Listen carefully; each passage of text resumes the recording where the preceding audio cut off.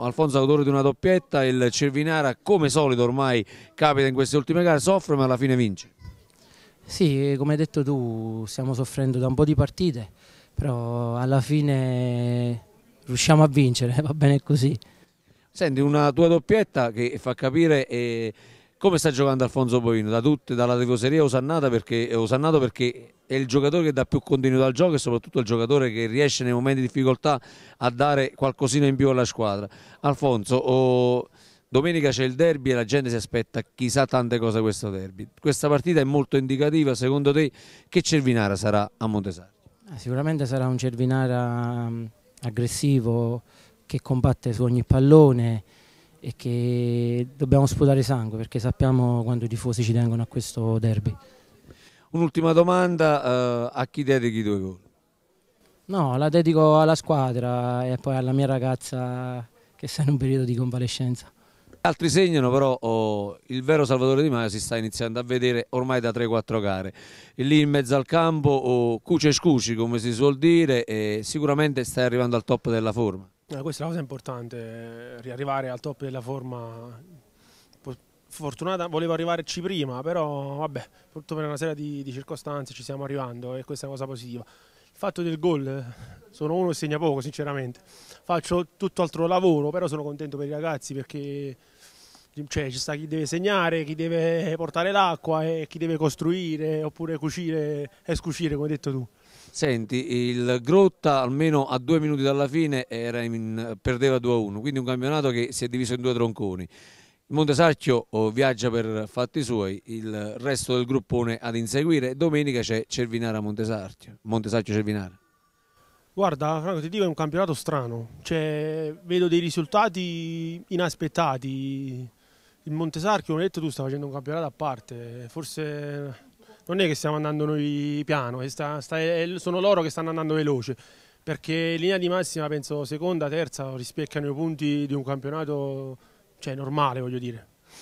Un'ultima domanda, i tifosi alla fine vi hanno ringraziato e voi avete ringraziato loro. C'è eh, questo feeling particolare che eh, specialmente in questa settimana dovrà essere ancora di più messo in cantiere anche perché eh, il derby col Montesacchio rappresenta per Cervinara la partita dell'anno. Sì, questo è vero, perché i tifosi diciamo che vivono proprio per questa partita e noi sinceramente cercheremo di regalargli questa soddisfazione enorme, immensa, che per loro vale più di un campionato, per noi però comunque è una semplice partita e andiamo avanti dopo Montesarchio, avanti la prossima. Condizionata da tanti errori difensivi, ma alla fine risolta dai giocatori di maggiore esperienza della squadra. Eh, un brutto inizio di gara, non lo so, prendiamo, poi prendiamo sempre dei gol su calci da fermo e poi, poi piano piano abbiamo iniziato a giocare, abbiamo fatto il pari e poi vabbè, è normale che chi ha l'esperienza giusta come Di Maio, Stellato, Bovino, eh, sono quei calciatori che ci, ci fanno fare la differenza. Ci presentiamo, inizia la settimana particolare, una settimana che Cervinare vive, vive tutto l'anno. È vero che eh, non è bello parlarne subito, però oh, diciamo che si inizia da oggi per finire domenica sera quando oh, sarà tutto concluso. Il derby mai come quest'anno, mai come questa volta sarà importantissimo perché eh, qualora eh, non ci sia risultato per Cervinare cambia poco, però per il Montesarchio forse gli diamo il là per una fuga solitaria. Eh vabbè, oggi abbiamo recuperato tre punti che, che sul, sul, Grotta che in settimana ha ricevuto dalla Lega per un errore di, dello stesso Cicciano. Il Montesacchio come sta giocando adesso è difficile da recuperare, però andremo lì per giocarci la partita prendendo insegnamento al secondo tempo e da quello che abbiamo fatto nel secondo tempo e come abbiamo giocato in campo il secondo tempo.